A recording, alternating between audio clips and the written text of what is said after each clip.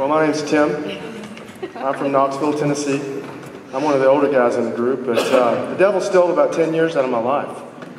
But I had somebody tell me recently that uh, God's going to give that back to me, so instead of being 51, I'm really 41. I just want to start off by saying that uh, God is my rock and refuge. He's my strength and shield in whom I will trust. He's done so much in my life, it's incredible. Um, when I was about 38, life seemed to be going great. Um, I was uh, married with four children. I had a successful business. I was um, doing well in life, you know. Uh, things seemed to be going good. I was very active in the church. I was respected in the community. But uh, unfortunately, I went on a church retreat one time and uh, we went to the snowshoe in West Virginia. And I had a pretty bad snow skiing accident.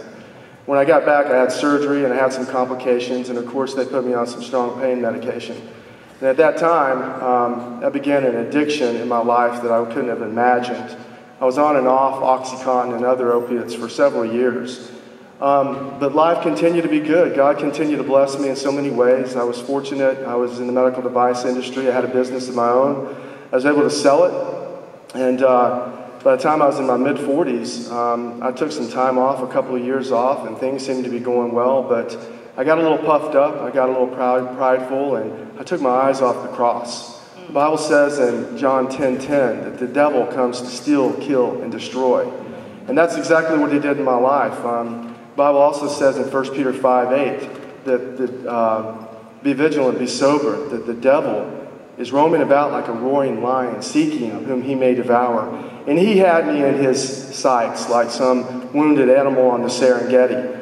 And uh, he was coming after me strong. And unfortunately, I had some other medical problems. I had some business problems as well. I made some bad business decisions. And my life of uh, living well and things going well came to an abrupt end. 2008, the uh, market changed. Uh, all the assets that I had that uh, I've been living so comfortably with went away.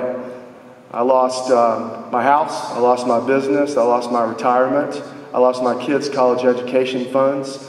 And instead of turning to the Lord, I leaned on my own understanding, and that didn't get me anywhere.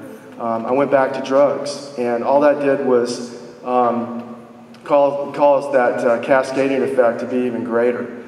And so I went down. I went from being um, comfortable um, to having nothing. And worse than anything, I ended up going through a divorce. My wife divorced me after 27 years of marriage. Um, that's the most painful thing. I lost my family. But um, unfortunately, I continued to use drugs for several years. And it took me to a place that I couldn't have imagined, to where I had absolutely nothing. I had no respect for myself.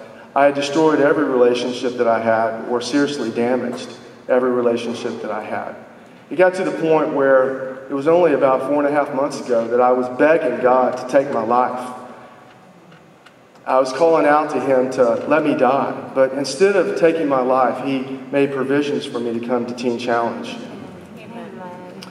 And by the time I got to Teen Challenge, I was not only financially bankrupt, but I was also spiritually bankrupt. I was emotionally bankrupt, physically bankrupt.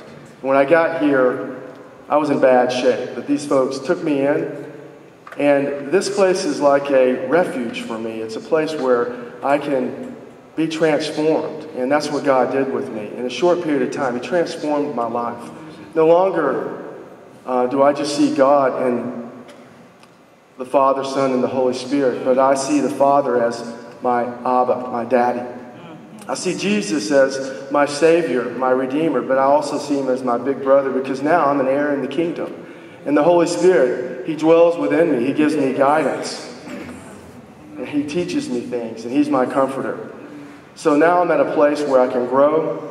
I'm pressing into God, and He's pressing back. And my life's just been totally changed, and I'm so grateful for Teen, teen Challenge. But I'm so grateful for the Lord.